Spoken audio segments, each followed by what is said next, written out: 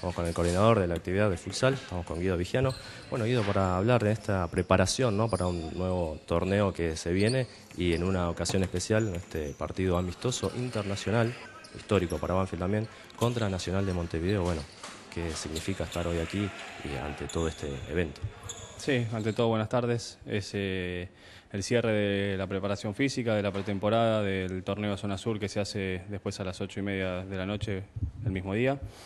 Y, creo que venimos trabajando desde febrero y nos merecíamos un cierre como este, ¿no? una pretemporada larga, una pretemporada dura, donde con el amistoso de hoy llegamos a los 10 partidos jugados en todo el año.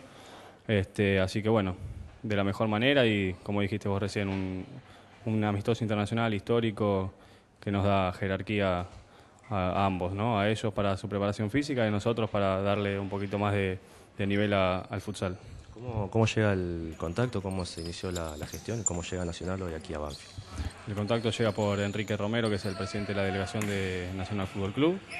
Se contactó conmigo vía mail, eh, comentándonos de, de su llegada a la Argentina para hacer algunos amistosos y bueno, que a ellos les interesaba realizar algún partido con Banfield, así que nosotros enseguida les dijimos que sí, que no, iba a haber ningún inconveniente, nos pusimos a su disposición para lo que les fuera necesario a ellos. Y, bueno, esperando ansioso ver cómo se va a desarrollar el partido, que si bien es un amistoso, nos va a dar la pauta de cómo estamos preparados para, para este 2013. Es un, un equipo que juega la Libertadores hace varios años, así que bueno, nos va a dar la pauta de para qué estamos muchísimo prestigio y también esperando que sea el puntapié para eh, una seguidilla, ¿no? que esto se dé más seguido también, en intercambio con otros clubes y, ¿por qué no?, también Banfield yendo a Uruguay en, alguna oportunidad.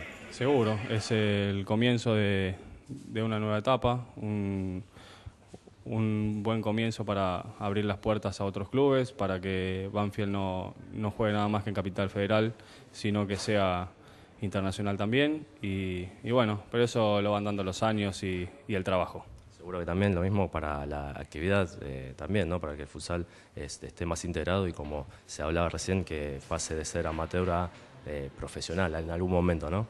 Seguro, si uno analiza los, los torneos, los partidos amistosos que hizo Nacional estos días, que Banfield esté entre medio de, esos equipos importantes, eh, le da una, un plus, un orgullo te hace sentir eh, orgulloso de, trabajar como lo estamos haciendo día a día. Jugó con Pinocho ayer a la noche, jugó con Villa Lañata. Sabemos que es por intermedio del gobernador, pero, pero bueno, que hayan pensado en Banfield a nosotros nos, nos llena de orgullo.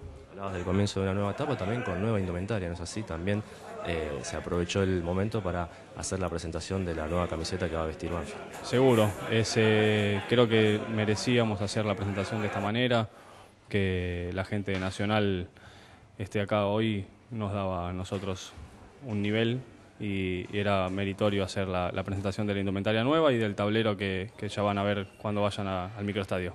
¿De cara al comienzo, Ido? ¿Conforme con la preparación? Con la preparación física, sí, muy bien, muy conforme. Eh, seguramente nos falta trabajar bastante en los niveles tácticos y futbolísticos, ¿sí? por eso hicimos tantos amistosos. Y bueno, esperando el día miércoles que se hace el sorteo del Ficture para ver eh, cómo arrancamos. Seguro, ¿no? Ya están ahí expectantes, eh, ansiosos y también con este año particular que te trae, que bueno, es la no presencia, digamos, de un capitán, de un referente como Hernán de Batiste, y que también una preparación, eh, digamos, para cómo el equipo arranca esta, este nuevo periodo. No, seguro. hemos decidido este año con la psicóloga y el cuerpo técnico no imponer el capitán, sino que sus compañeros mismos elijan quién va a ser el que suplante a Hernán, que seguramente va a ser irreemplazable, que no, va a ser lo mismo, pero que bueno, que ellos confíen en, la persona que elijan y se sientan a gusto.